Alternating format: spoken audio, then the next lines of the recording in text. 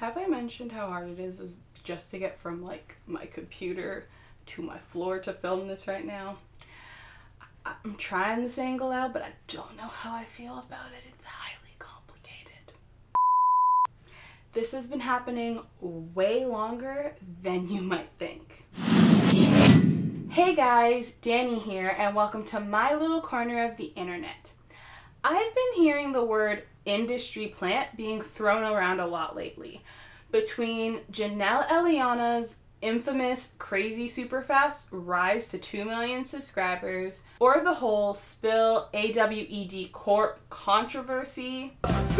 And in all of these videos, the one justification that has been thrown around a lot has been that the music industry has been doing this for basically forever. And my reaction to that was like, hold up, whoa, what do you mean they've had industry plants for basically forever? So I decided to investigate. So let's get straight exactly what people mean by industry plant. So, based off of Google research and all the videos that I've watched, essentially it is someone who was created by a corporation as kind of a persona and is completely backed by a corporation. So, in the music industry, we actually call this artist development. So, just in case people are getting confused, what people are talking about in terms of like YouTube and saying industry plant is actually what the music industry calls artist development.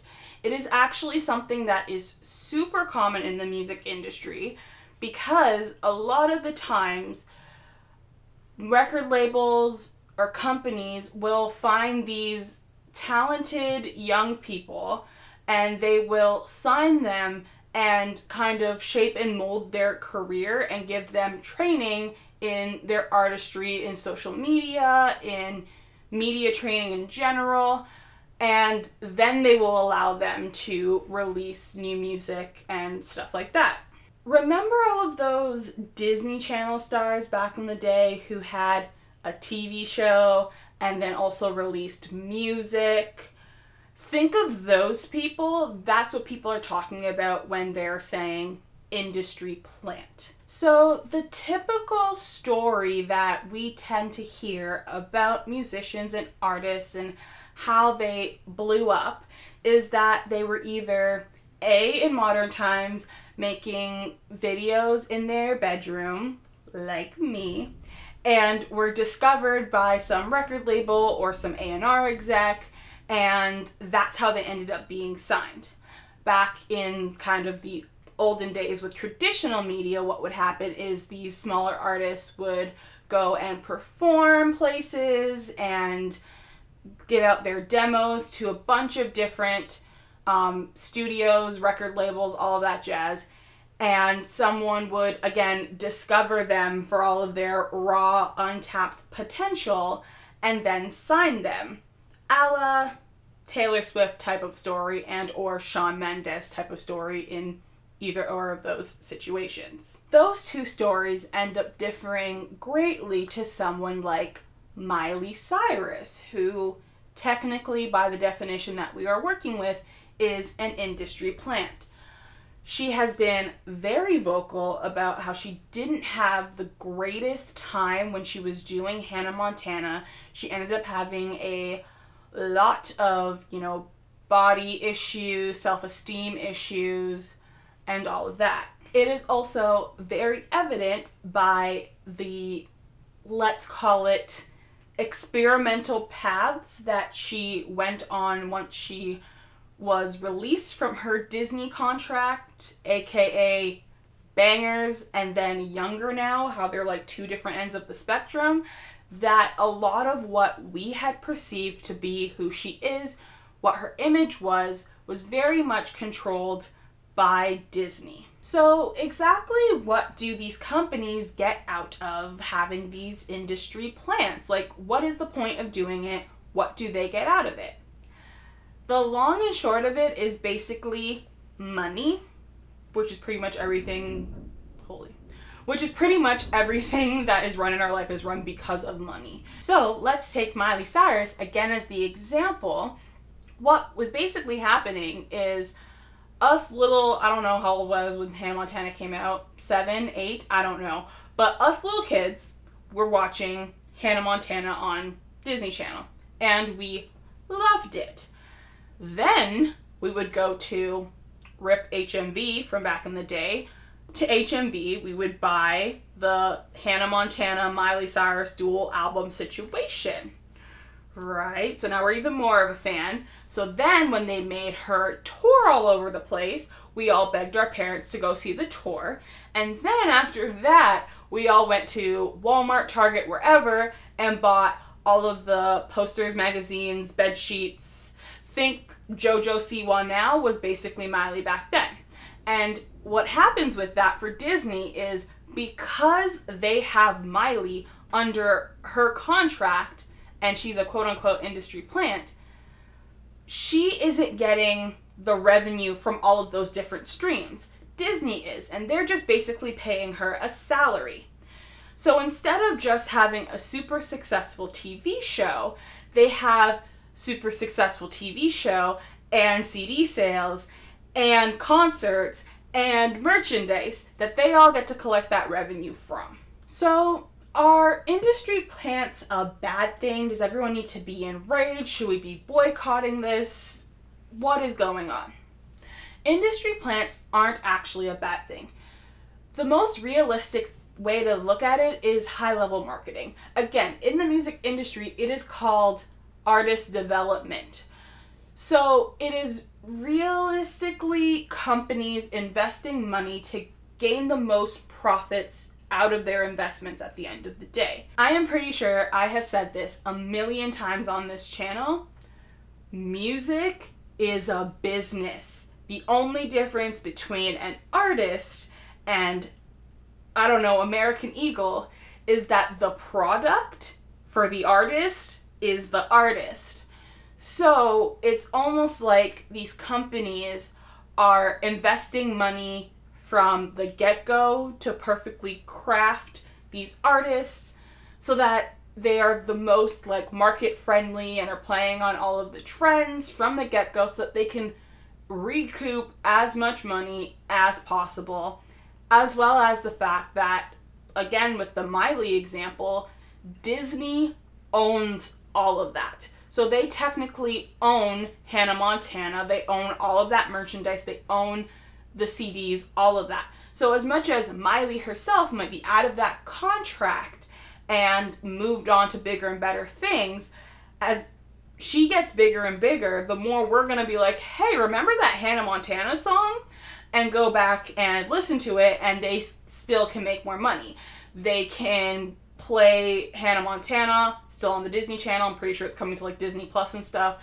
And then everyone with their nostalgia is going to keep paying for it. And they could even technically get a new person and make them the new Hannah Montana and somehow make money off of that. So that is where these companies get their benefit is because it's like owning a person, but it's more so owning the persona of that person. And then the revenue stream is way more consistent that way. The only thing that can be slightly a negative to these industry plant type things is if people are not aware that this is happening. So, again, using Miley as an example, if during her Hannah Montana days, if she were to go on a, I don't know, radio show, interview, or something, and she really went on about how much she loves Target, that could potentially have been like a brand deal between Target and Disney.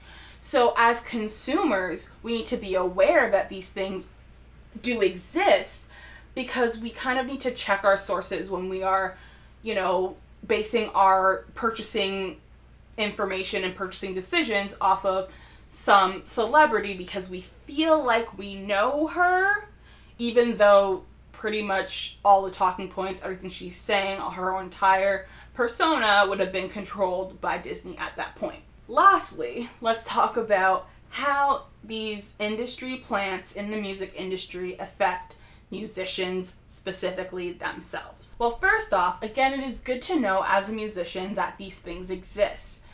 Because as much as we don't like to admit it, self esteem does play a big part in the music industry. So if you see some random musician who you may or may not think is more or less talented than you, and they just kind of shoot up and skyrocket to the top of the charts, and now you feel bad that you're not doing everything right or you know you might not be as talented as you thought. It's good to know that these things exist because then you can realize that maybe that person had an entire company marketing team everything type of team already built in for them and that is how they got to be so successful so fast while you are starting your, you're going through your own path you're doing it yourself you're basically a diy musician so it is good to know that these things exist so that you don't specifically compare yourself to everyone else and hurt yourself in that way or give up on your dreams because of it. Secondly, it can help inform your own brand. Lil Nas X is a great example of this. He figured out how to use the whole meme system to get his song to the number one spot for I'm pretty sure it was 15 to 16, some ridiculous number of weeks.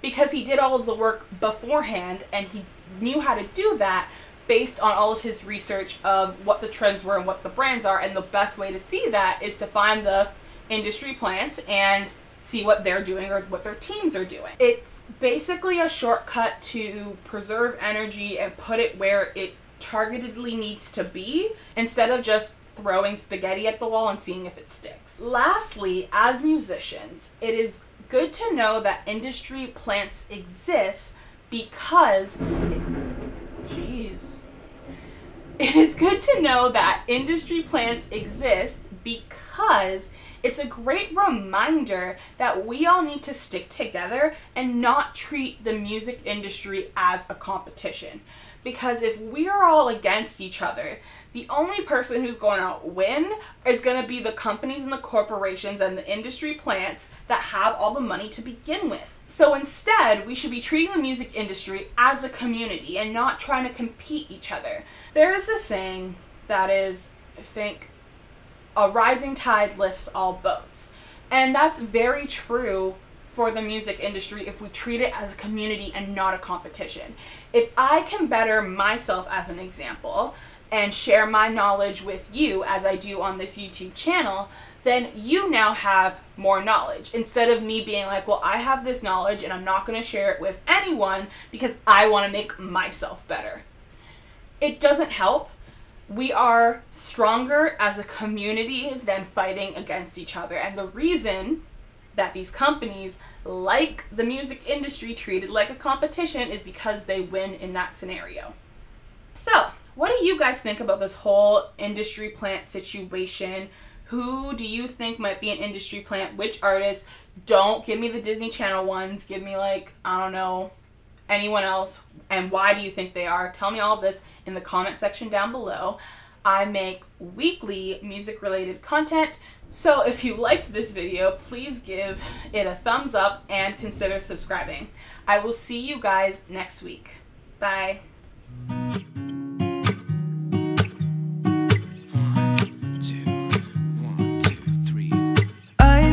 feeling so small Watch the clock ticking off the wall But tonight I'm letting it go Spend my coin for sure